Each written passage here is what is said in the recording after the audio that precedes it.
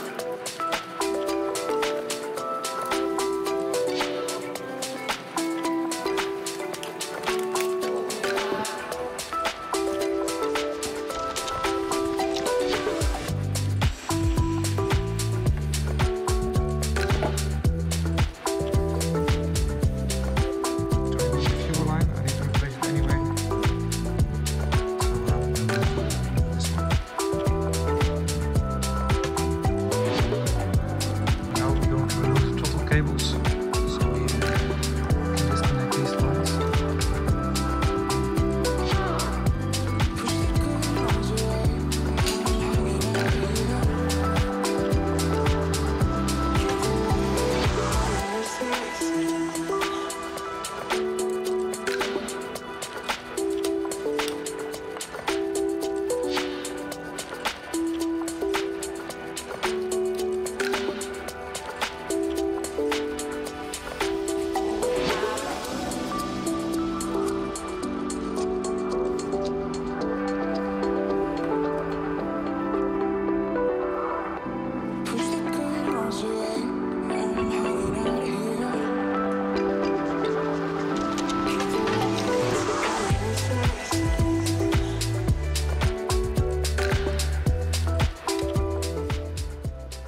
Now it should be loose.